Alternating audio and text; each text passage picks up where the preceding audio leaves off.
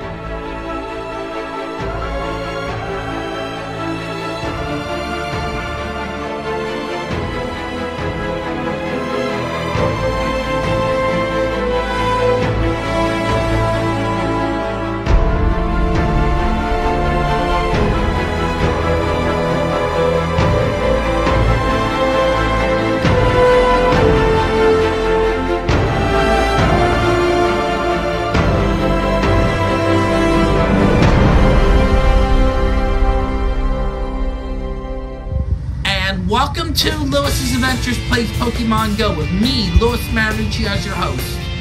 If you like this video, please hit the like button.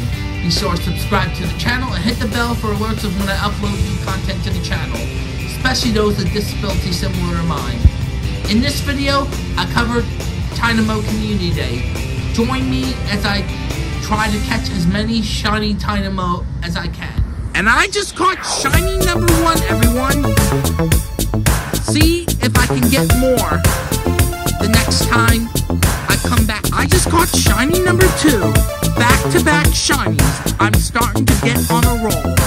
Stay tuned to see if I can get even more. Earlier, I forgot to say, I caught shiny number three. So therefore, now back to your normally. And I just caught shiny number four, everyone. I continue to be on a roll. Stay tuned to see if I can get more. And I just caught shiny number five. I continue to be on a roll. And I just caught shiny number six, everyone. I'm on a roll. And I just caught shiny number seven, everyone. I am definitely. And I just caught shiny number eight, everyone.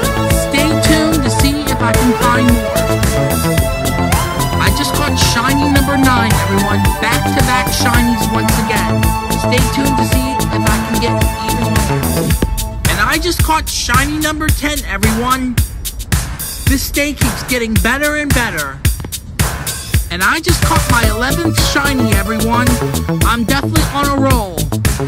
Stay tuned to see if I can catch a few more before closing out this community. And I just caught shiny number 12, everyone. I'm definitely on a roll.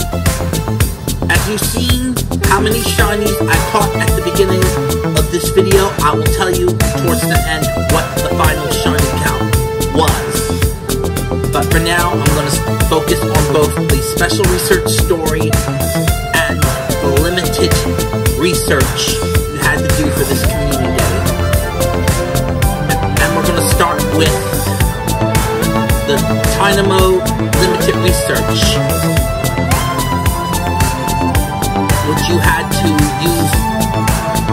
berries to help you catch Pokemon, catch five Tynamo, and make five nice throws, with your reward of one Unova Stone each, and the total reward for this limited research being a Unova Stone.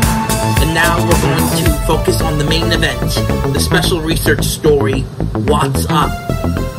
For step one, you had to make five nice throws with your reward of 15 Pokeballs, catch 15 Tynamo with your reward of a Tynamo encounter, and power up a Pokemon 10 times with your reward of 20 Tynamo candies. The total rewards for the step were 3,000 Stardust, a Tynamo encounter, and one Incense. For step 2, you have to transfer 10 Pokemon with your reward of 10 Pinap Berries, catch 15 Tynamo with your reward of a Tynamo encounter, and evolve 3 Tynamo with your reward of 30 Tynamo candies. The total rewards for this step were 4,500 XP, a Tynamo encounter, and 1 egg incubator. For step 3, you had to make 3 great curve ball throws with your reward of 15 great balls, catch 15 Tynamo with your reward of a Tynamo encounter, and evolve a Eelektrik with your reward of 50 Tynamo candies. The total rewards for this step were 4,500 Stardust, an elect Eelektrik Encounter, and one Rocket Radar. For the last and final step, you claim the following rewards. 15 Ultra Balls, a Tynamo encounter, 2 Silver Pinap Berries, with the total rewards being 5,500 XP, an Eelektross encounter, and 3 rare candies. Well, my final shiny count for Tynamo Community Day is 12. Yes, I caught 12 shiny Tynamo. I couldn't be so happy. In the meantime, this is Louis saying, thanks for watching everyone. You can also follow me on Instagram, Threads, Twitch, TikTok, and Facebook. And remember, it's time!